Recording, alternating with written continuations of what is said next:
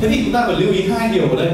Cái điều thứ nhất chúng ta cần lưu ý, đấy là cố gắng để cho cái ngưỡng tỷ lệ lặp ở trên bài viết thấp nhất có thể, thấp nhất có thể. Và cái thứ hai, nếu như bạn đang có những tài khoản quảng cáo bị dính limit mà nó chạy rẻ thì cứ để nó chạy như thế đi, làm thêm tài khoản cáo mới.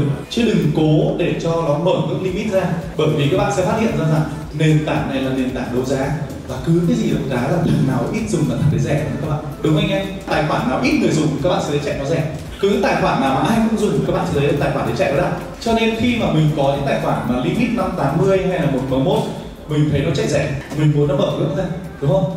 Mà mở ngưỡng ra thì nó lại chạy đắt những trường hợp đấy chúng ta gặp rất là nhiều. Các bạn quan tâm đến cái phần tỷ lệ lặp này thì các bạn sẽ không gặp những cái vấn đề mà quái hoắc bởi vì tỷ lệ lặp này nó sẽ tạo ra trải nghiệm người dùng vô cùng tồi tệ. Có thể ờ, anh em không biết, nếu như mà cái tỷ lệ lặp này mà lớn, fanpage của các bạn sẽ bị dính kết ẩn khi fanpage của bạn bị dính kết ẩn các bạn sẽ rất là dễ dàng nhận ra đó là dù cho lượng follow và lượt like của fanpage của các bạn có là bao nhiêu, thì các bạn đăng bài cũng không ai xem.